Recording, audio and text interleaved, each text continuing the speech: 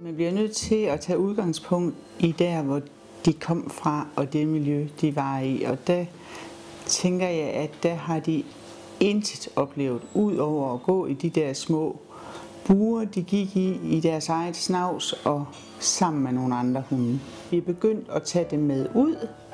Vi kan i hvert fald godt fornemme, at de har ikke prøvet at have en snor på ret mange af dem. Men de er meget optaget af duftene nede i vores hundeskov, og de lever voldsomt op, når vi kommer derned, og de får lov til at løbe frit dernede.